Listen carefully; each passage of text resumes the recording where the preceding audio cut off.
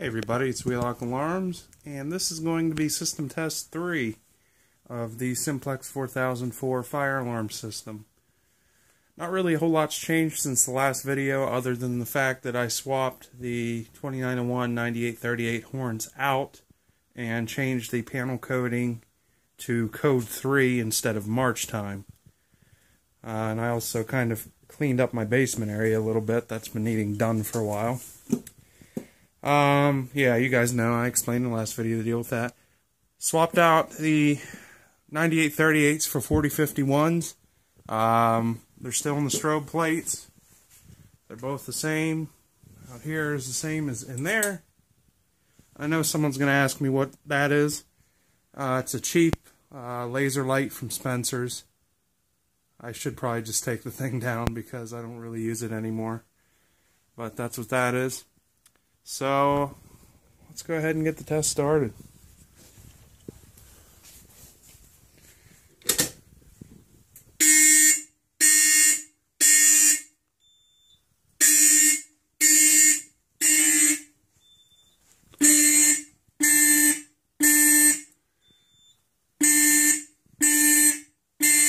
The one in the laundry room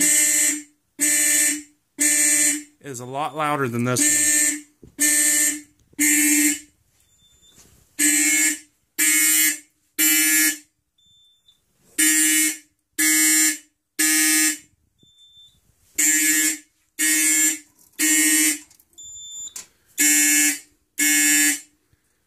One here in the laundry room almost sounds like a 4050,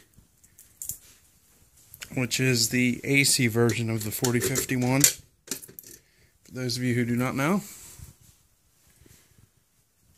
Once again, strobes flashing.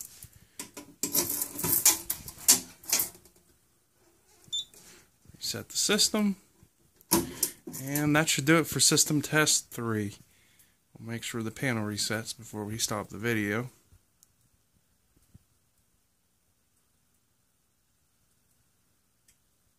And there we are. Thanks for watching.